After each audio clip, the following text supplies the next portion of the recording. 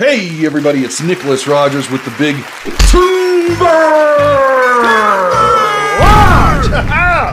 Coming back at you today with another fun and exciting video where we're doing an experiment on what happens to bullet velocities when you add a suppressor to a modern semi automatic sporting rifle. And realistically, I don't know. So this is part two of a three-part series. In the first part, we did handguns with the suppressor, and surprisingly, it actually decreased the bullet velocity. So I don't know what's gonna happen with this semi-automatic rifle that I have in front of me. Now, the way that this experiment is going to happen is I have two different types of ammunition. I have some bulk range ammo, which is 62 grain 223 ammo from LAX. And then I have some really premium shit. I'm talking the good stuff. This is the Federal 69 grain. Finish him! Oh, yeah. Sierra Match King 223 ammunition.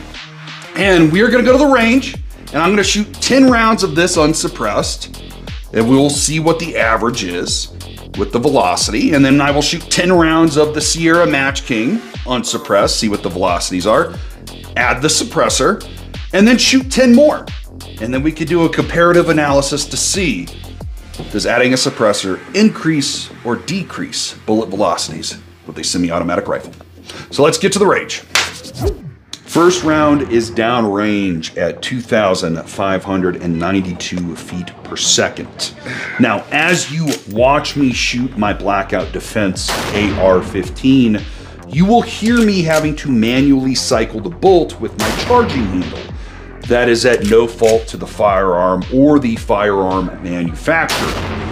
Once I purchased my Dead Air Sierra 5 suppressor and put it on the rifle, I was getting overgassing and my ejection patterns were around 12.30 to 1 o'clock. And some of the shell casings were bouncing off my Trijicon red dot in front of the ejection port. So I put an adjustable gas block system on this firearm to be able to tune my ejection patterns to that sweet spot around 3 to 4 o'clock. And it worked perfectly, but in turn, when I removed the suppressor, there's not enough back pressure now for the rifle to cycle on its own. And that's why you're seeing me having to cycle it myself. Mm. All right, that is 10 rounds of the LAX bulk ammo unsuppressed downrange. Let's see the stats. We had an average velocity of 2,576 feet per second with a standard deviation of 25. Next up, we have the 69 grain Sierra Match Kings by Federal. And I wanted to bring these into the equation because these are premium factory loads that should have a much tighter or lower standard deviation than what we saw with the bulk LAX ammo. Okay, that was 10 rounds of unsuppressed Federal Sierra Match King 69 grain ammunition.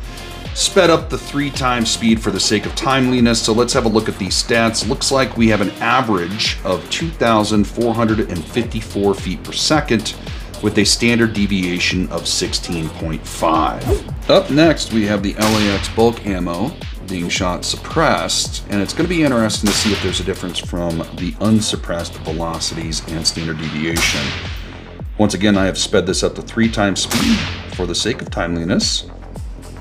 That is 10 rounds down range, so let's have a look at the statistics. Remember, unsuppressed it shot 2,576 feet per second on average, suppressed 2,604. So suppressed is coming in faster.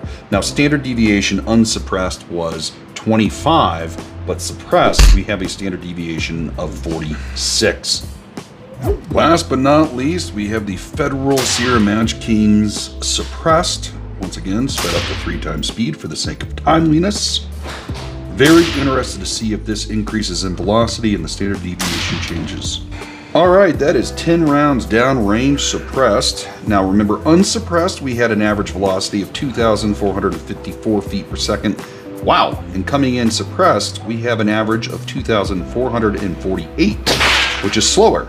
Standard deviation unsuppressed was 16, and suppressed is 9.4. All right, so welcome back to the Big Timber Lodge. We're gonna break down the statistics that we just produced at the range.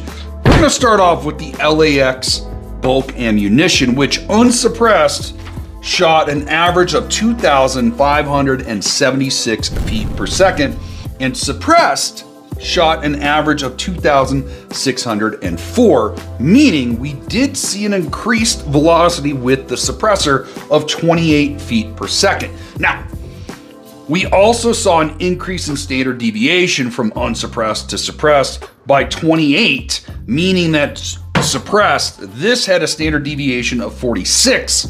So realistically, that 28 feet per second velocity increase that we saw falls within the standard deviation. So I cannot say shooting this suppressed actually increased velocity.